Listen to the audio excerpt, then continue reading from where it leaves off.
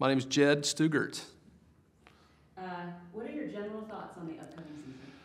Well, every year, you know, you go through this and, and uh, you evaluate the previous season, the things you got to work on, and, and the things you got to emphasize, and what you got to overcome. So, you know, obviously having, uh, you know, being around our guys this summer, I mean, we're at that point where it's a lot of excitement, and, and uh, so I feel really good, kind of like what the guys have said. You know, there's some old, there's some new. And we, you know, as in my career, I've kind of been through that, down that road a lot, and and and, and the dynamics of teams, and uh, and so um, so it's really exciting to kind of uh, get that contrast going. Uh, and, and it's really good position for our older guys to really take some leadership roles to develop some young guys. And uh, what is the level of excitement to be a member of the OVC and playing D1 football?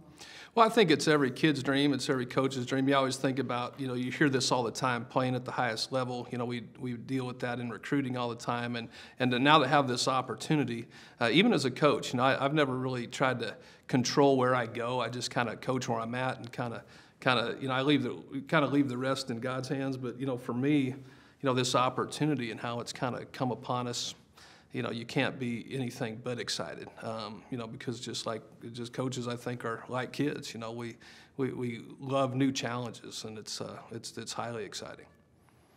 And uh, what do you like most about your team this year?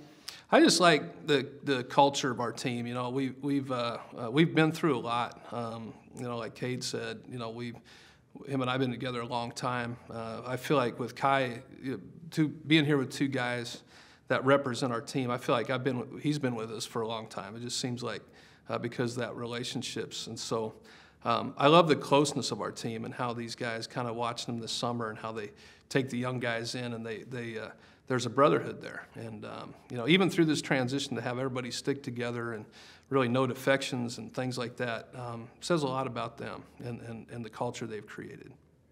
And uh, what's the biggest challenge for your team this year?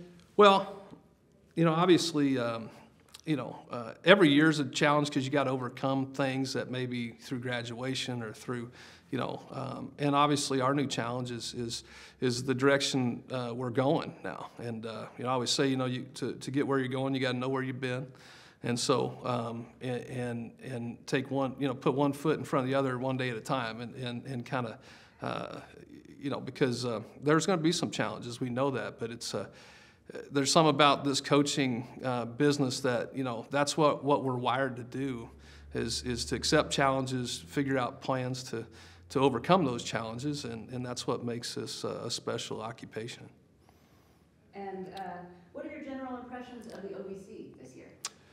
Well it's uh, great you know through the years and you know in my career you know you've always known of the ovc and it's uh, you know you kind of are familiar you know you kind of look at different conferences and you kind of know coaches in different conferences and uh, uh, how all this happens so quickly, you do kind of pinch yourself a little bit like, hey, we're an OVC member now. And so, uh, great coaches here. I've enjoyed uh, meeting, um, you know, Commissioner DeBauche is, uh, uh, is getting to know her a little bit through this transition, love her leadership, her enthusiasm, the pride she has in this league and wanting to, to continually make it better. Um, so it's, a, it's, it's humbling and, and we're honored to be a part of it.